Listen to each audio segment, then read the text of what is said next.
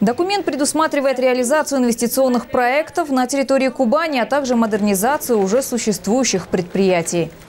Чтобы мы делали современную экономику, нужны современные разработки и нужны современные технологии.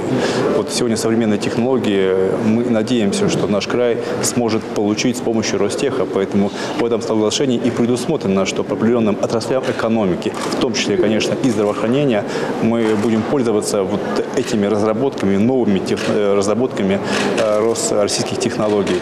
В плане здравоохранения мы тоже надеемся, что мы получим эти прорывные технологии, которые нам позволят в медицине вовремя диагностировать, выявлять э, болезнь и, конечно, вовремя ее лечить.